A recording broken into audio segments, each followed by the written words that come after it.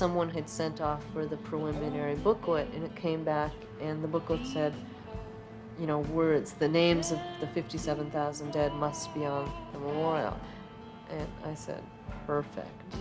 And that's what the memorial would be names upon um, the black surface of the earth the earth polished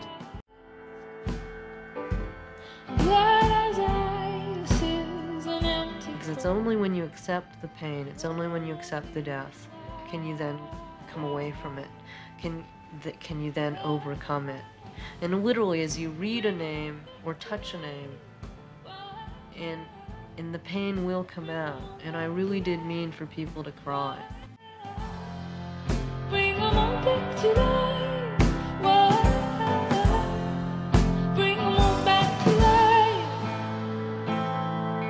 What I, I admire a great deal about Maya's work and uh, her person um, is that her work is uh, very accessible to all of us. I mean, she designs with best with children in mind, she says, and that um, it really asks uh, us to respond on a human level and uh, be engaged and drawn into the work and the ideas.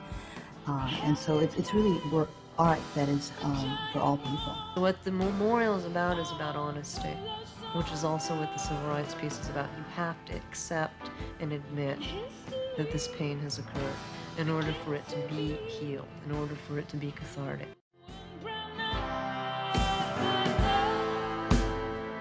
Whoa. Bring 'em all back to life. Whoa. Bring 'em all back to life.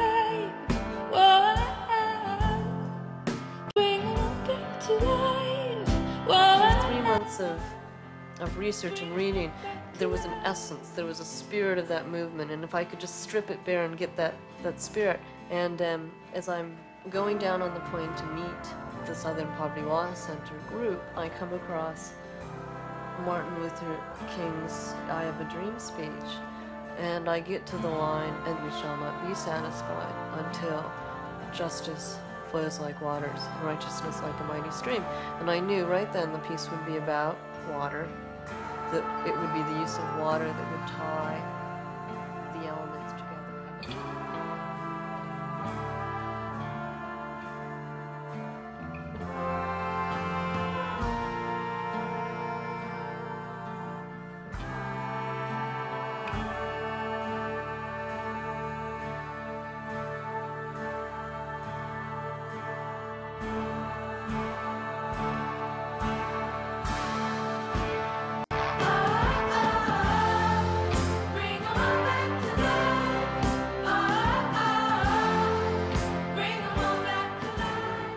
monument which, like the movement it honors, is majestic in its simplicity and overwhelming in its power.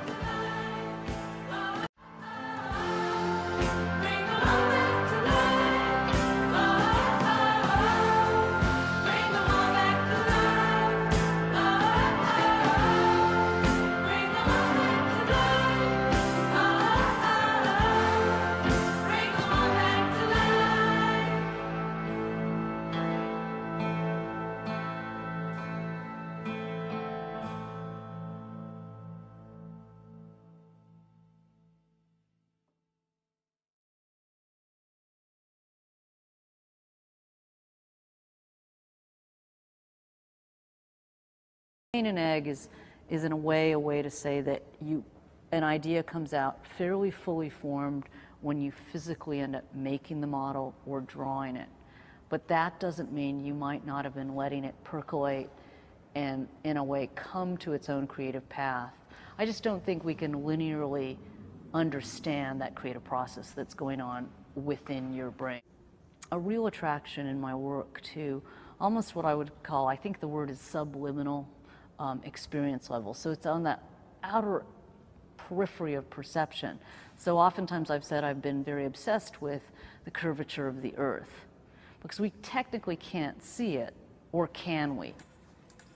The piece in, in the background here, again, part of me is almost playing with that idea of the, the hill, the magical curvature of the earth. There's always, I'm coming back to that at some times. Sometimes it's much more subtle. These pieces are also as much about um, focusing you on actual phenomena. Like the wire landscape is definitely a water terrain, so it's getting you to think about something you might not necessarily envision, which is what is the terrain underneath the sea.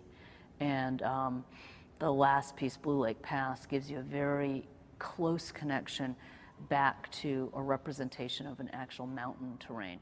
So again, what happens if you could cut the earth open and walk through it?